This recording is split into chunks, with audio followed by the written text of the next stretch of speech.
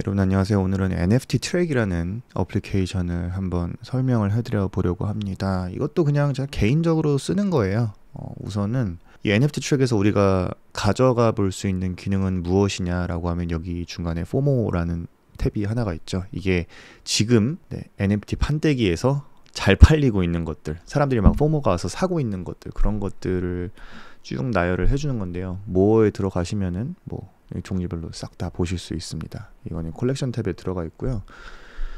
요 next BC라는 어, BC는 여러분들 다 아시겠죠? 뭐 BC 하면은 떠오르는 그 NFT 하나 있을 텐데 next BC가 될 만한 것들이다라는 것에서 이렇게 쭉 순위별로 나열이 되어 있어요. 근데 들어가 보시면은 요 왼쪽 아래쪽에 블루칩 인덱스라는 게 있습니다. 이 Webaverse라는 거는 어제 minting이 시작돼 가지고 나온 건데요. 기존에 네, 블루칩 holder들이 이제 raffle을 돌려가지고 참여를 했었던 겁니다. 그래서 저 블루칩 인덱스가 높으면은 어 블루칩이 될 확률이 높은 프로젝트구나 라는 그런 걸로 이해를 하시면 될 것 같습니다. 뭐 이런 거는 지금 순위에 올라와 있긴 하지만 여기 막상 블루칩 인덱스를 보면은 606 중에 4점으로 낮죠. 뭐 히어로 F 마일로는 지금 그런 상태고요. 이 테이블랜드 리그도 하이빅 되게 셌었는데 어, 거래량은 좀 적긴 하죠. 트레이딩 볼륨 1562더인데 보시면 블루칩 인덱스가 계속 올라가고 있는 것을 볼 수 있습니다.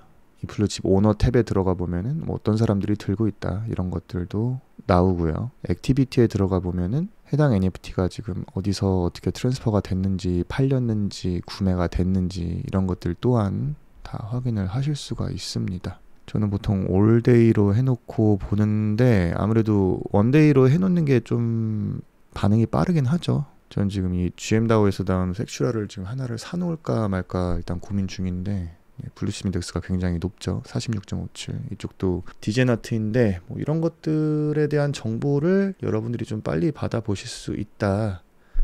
라는 장점이 있는 어플입니다. 애쉬어는 그 마미손님이 하시는 거죠. 네, 이런 것도 확인을 하실 수 있고요. 옆에 보면 로열티가 몇인지도 확인을 할 수가 있네요. 아 그리고 여러분 여기 지갑을 연결할 수 있다라는 그게 나올 거예요. 안내가 나오는데 당연히 안 하셔도 정보 볼 수 있습니다. 네.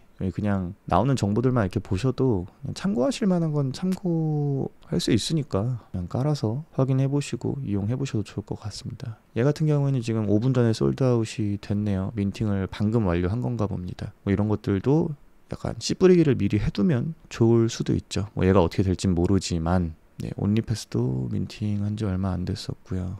아, 그렇습니다, 여러분. 네, 새로운 앱이 있어가지고 한번 사용해 보시라고 전달 드렸습니다. 네, 각종 앱스토어나 구글 플레이에서 NFT Track이라고 검색을 하시면 다운 받으실 수 있을 겁니다. 벤틀리 타시기 바랍니다. 복지사였습니다.